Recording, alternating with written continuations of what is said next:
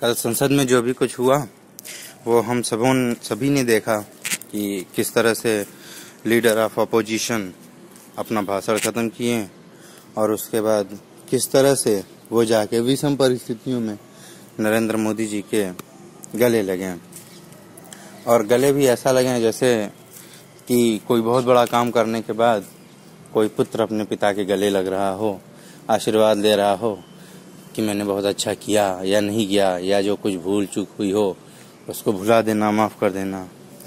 तो क्या कुछ है कवि के दिमाग में आ सकता है?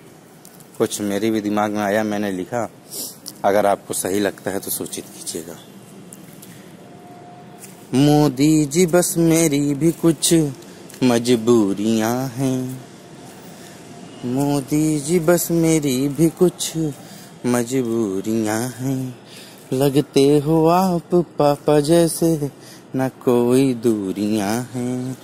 मोदी जी, बस मेरी भी कुछ मजबूरियाँ हैं। लगते हो आप पापा जैसे, न कोई दूरियाँ हैं।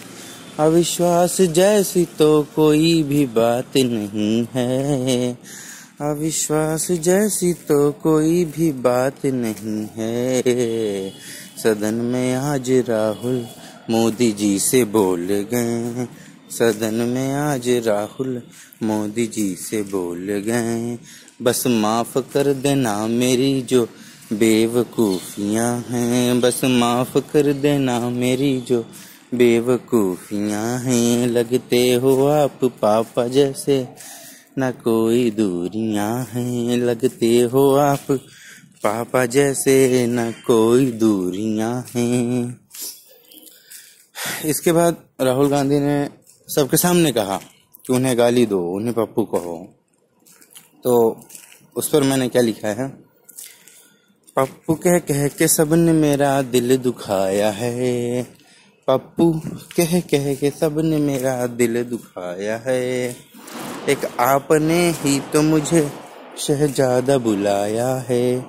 एक आपने ही तो मुझे शहजादा बुलाया है।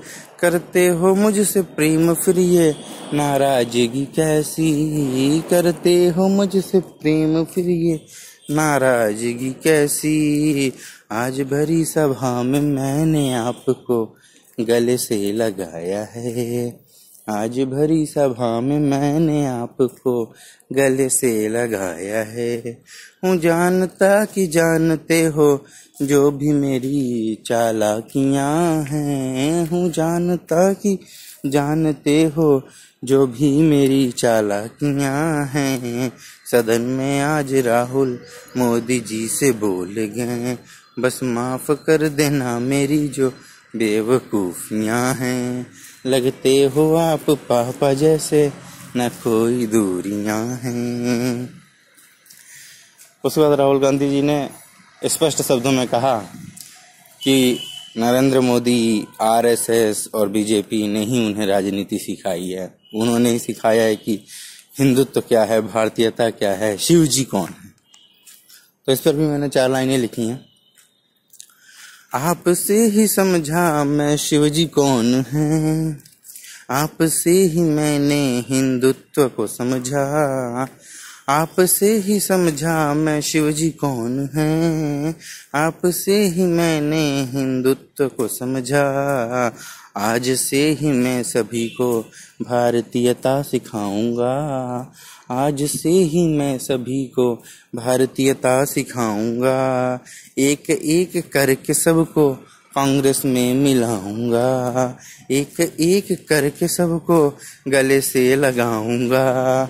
सुन के जो इतना मोदी जी लगे हंसने, सुन के जो इतना ही मोदी जी लगे हंसने खींच गए राहुल जी और लगे कहने। खींच गए राहुल जी और लगे कहने, जानता हूँ कि आप मुझे पप्पू समझते हैं।